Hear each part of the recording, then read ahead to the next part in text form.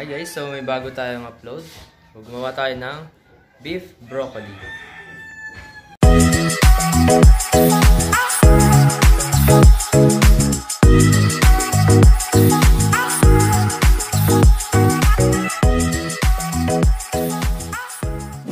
Kamusta kayong lahat? So ako nga pala si Kuya Tian.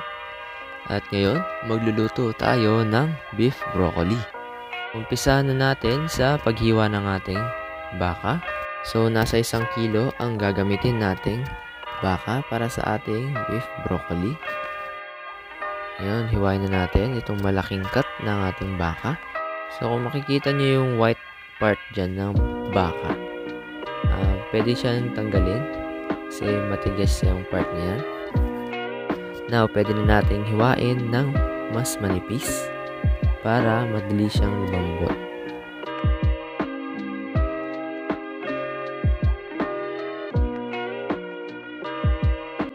So, after natin mahiwa o manipisan yung ating baka, ready na siyang transfer sa isang bowl para ma-marinate. At ganyan lang kalaki yung hiwa sa baka. Ito yung ating bowl na paglalagyan natin ng marinated na beef. At syempre, ita-transfer lang natin ang lahat ng nahiwang beef sa ating bowl. And then, so nalipat na natin lahat ng meat sa ating bowl. Ready na siya for marinade. Ang gagamitin natin dito is mamasitas oyster sauce. At ang measurement niya is 1/4 cup So, ibubuhos lang natin lahat yung oyster sauce dyan sa ating beef cuts para dumikit yung lasa ng oyster sauce. Dahil dito talaga lalabas yung flavor ng ating beef broccoli. So, next natin, sesame oil. 1 tablespoon ang niligay ko sa ating recipe. Na maglalagay naman tayo ng sugar. 1 tablespoon din. Yan ang gamit ko dito is semi-brown sugar. So, sprinkle mo lang siya sa lahat ng ating beef cuts. Now, ipipremix na natin ang ating marinade gamit ng ating kamay. So, itong last na lalagyan naman natin sa marinade is cornstarch. So, ang use ng cornstarch dito is pampadagdag ng lapot sa ating beef broccoli. So, syempre, mimix natin ulit yan gamit ang ating kamay. Kasi mas madali naman magmix gamit ang ating kamay. So, mix mo lang siya hanggang mag-coat na lahat sa ating baka yung lahat na nilagay nating pampalasa, oyster sauce, sesame, at sugar. So, set aside muna natin yung ating beef. Ngayon, magkakat naman tayo ng broccoli. Madali lang naman pagkat ng ating broccoli, tatanggalin mo lang siya sa kanyang stalk. So, madaming health benefits ang ating broccoli, rich in calcium and vitamin K. At ito ay makakatulong sa pagpapalakas ng ating buto at pangangatawan. Itinuturing din itong superfood katulad ng cauliflower and di pa pang mga gulay. So, ikakat na natin ang broccoli flower kasama ng kanyang stem into two pieces.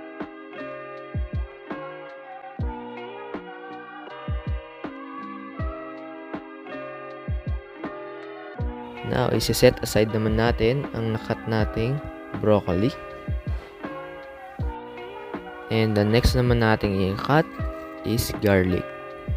So, ipapress lang natin yung garlic gamit ang ating kutsilyo. Ayan. Para madaling balatan. So, sa ating recipe is around 4 cloves of garlic ang ating ginamit. Para saan kasi mas maraming bawang, mas masarap.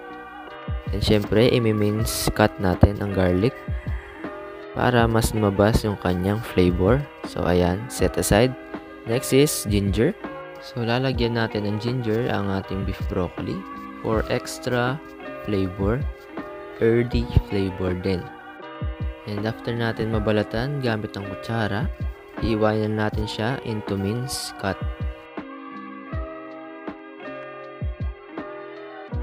And nahiwa na natin ang ating ginger.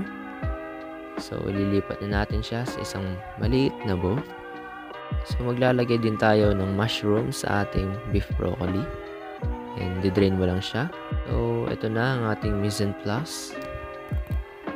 So, put everything in place, every ingredients. Yan lang naman ang ating gagamitin salt with salt and pepper plus water. So now ready na tayo mag-saute ng ating broccoli.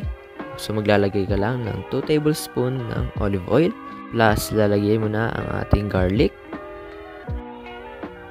So isusute lang natin ang tatlong ingredients plus ginger.